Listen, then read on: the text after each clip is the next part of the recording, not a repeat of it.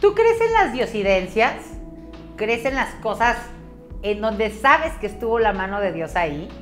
Hay situaciones en la vida que te ponen en el lugar correcto, a la hora correcta, el momento correcto.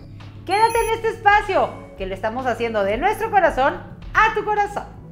Las diosidencias son situaciones extraordinarias, mágicas, que pasan a diario.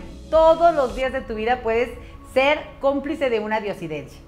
A veces no quieres salir de tu zona de confort y no quieres ir a esa fiesta porque te da flojera o no quieres ir a ese viaje porque no te agrada la persona que te invitó.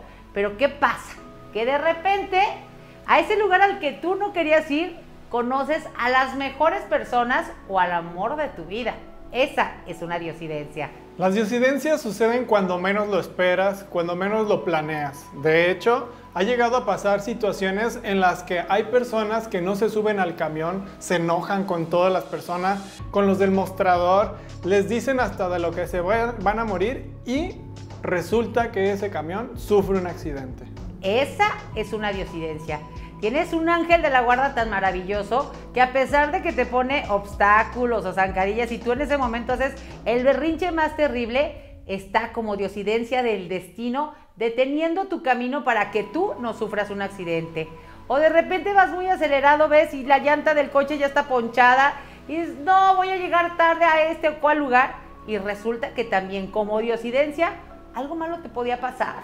Algo malo podía pasar con esa situación de la llanta ponchada o inclusive a veces hasta cosas más pequeñas.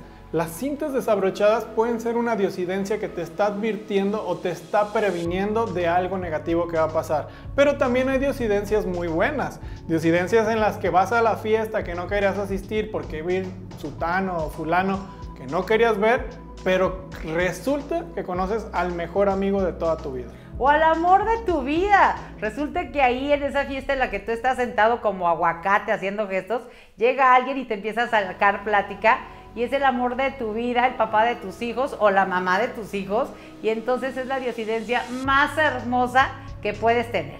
Así es que el consejo para que evites no tener diosidencias, para que evites no salir de tu zona de confort, cuando no te lata, pero tú estés seguro de que sí tienes que ir, hazlo, atrévete, sal de tu zona de confort, rompe con esta rutina de vida y verás que seguro, seguro va a ocurrir una diosidencia. Sí, porque las diosidencias solamente pasan cuando menos lo esperas y además cuando no lo tienes planeado. Ha habido viajes en los que puede resultar que tú ibas para una cosa diferente y resulta que sales con el negocio de tu vida y te haces millonario.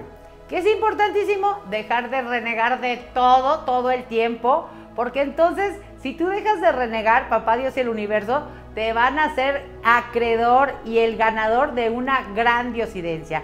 Agradece al universo todas las oportunidades que se ponen en tu camino, todas las mágicas personas que llegan a tu vida como ángeles terrenales y entonces vas a ser merecedor de muchas diosidencias.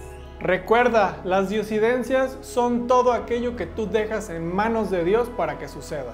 Y si te gustó este espacio, regálanos un like, escríbenos aquí en tus comentarios qué otros temas quieres que nosotros abordemos y con mucho gusto, bien y de buenas, aquí nosotros les vamos a hacer el favor. Yo soy Luis Rivas. Y yo soy Marce Rivas. Y juntos somos Brujos, en, armonía.